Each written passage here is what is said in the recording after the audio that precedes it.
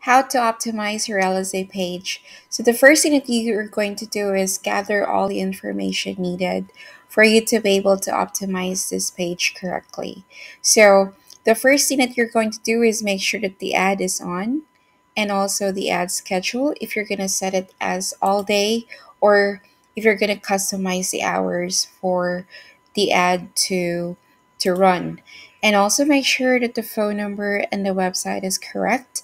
The budget is set correctly.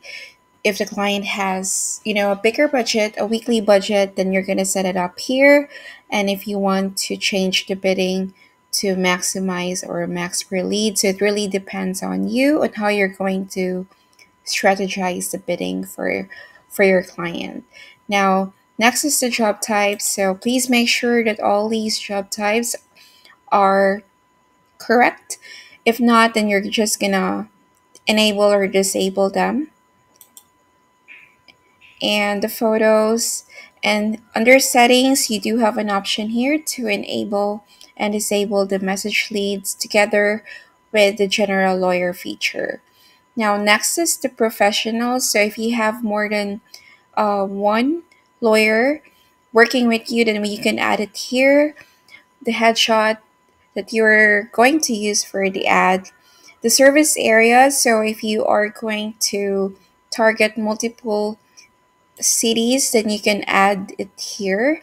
So for this client, we're only targeting just a few cities nearby since um, we're we're only like focusing on the local the, the local areas all right so once you're done you can just click save all right and for the business hours so if if you're going to open 24 7 then you're gonna set it up here and make sure that you're going to click on this drop down if you're gonna be taking customers or if, if you if you will be closed for a certain period of time. So just click cancel.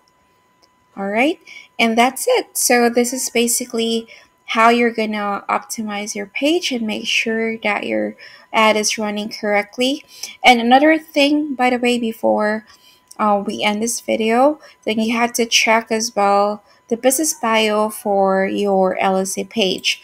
So um, all you have to do is just click on this edit button here or the pencil button right and go straight here so you have to you have to check whether um, you're going to be opting these options and the business bio here. And then once you're done, just click on save. All right. So this is how you're going to fully optimize your page before enabling or before um, enabling your ads or at least everything is done right at the first time before your ad will show up on Google. So I hope this video helps. If you have questions, let me know. I'll be more than happy to help. Thank you so much for watching. Bye.